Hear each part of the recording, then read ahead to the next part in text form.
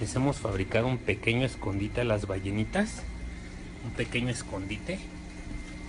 Ahí lo puedes apreciar, hijo. ¿Viste? Es una cazuelita de esas que tenemos de barro.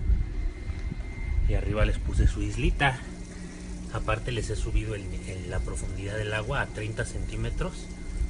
Porque de la parte media hacia abajo el agua está más calientita. De la parte media hacia la superficie el agua es cuando se está enfriando, sobre todo en las noches.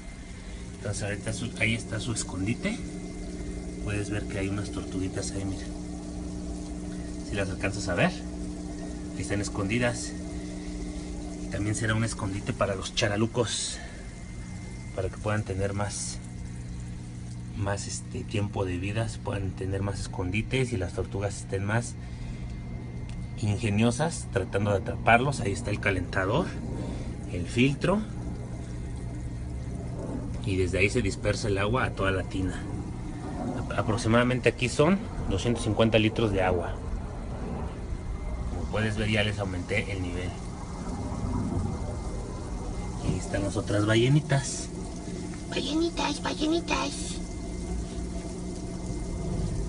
Está más profunda su casita, su, su tortuguero. Y ahí su pequeña islita, ahí se pueden subir a tomar el sol.